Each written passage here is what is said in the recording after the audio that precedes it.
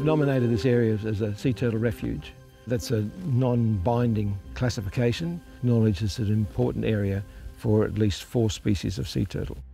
The green and hawksbill turtles that feed on the reefs, the olive ridley and flatback turtle that nest on the beaches. The most common one is the flatback turtle, found only in Australia.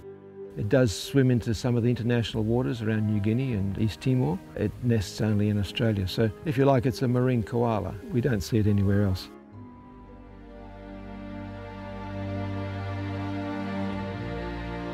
Typically they nest on the high tide and so we start our work two hours before the high tide. You'll hear us talking to the turtles about they've picked a good nest site, they're on the right side of the dune. Last night I was apprehensive because in the last two days we had zero turtles on the beach. There were no adults coming ashore to nest and we'd had no hatchlings. When they're not here, then we're starting to say, well, what's happening? Is there something that's happened offshore? Why aren't the hatchlings making it to the surface? Has it got something to do with the recent rain? Could it be with oil exploration, increased boat traffic? Their biggest threat is probably our lack of knowledge of them. We know work on the nesting beach very well, but the rest of the time we know very little about what's happening out at sea.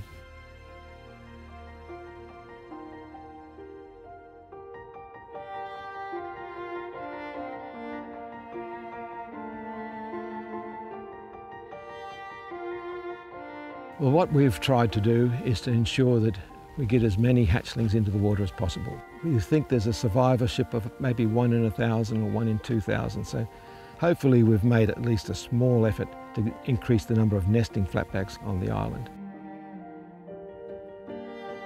One of the challenges is the ownership of the oceans. Here we've got a system of commons where basically nobody's owning the reef yet we want to move towards a system where somebody has obligations and responsibilities of looking after these sections of reef. It's just how they go about it.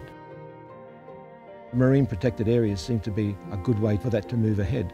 Areas that are being protected for a particular purpose, whether it be for fish or whether it be for cultural reasons or turtles.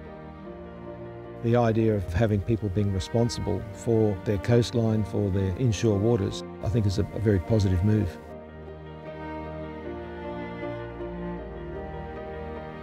Last night was one of those nights when it all came together again. We had six turtles on the beach, all of them nested, and also this morning we had four nests hatched. So going from zero to a very productive night was welcome. This is a totally wild animal. There you are, face to face, and sometimes you can be centimetres away from this animal, trusting you to enable them to get back to the water. That's one of the greatest things about it.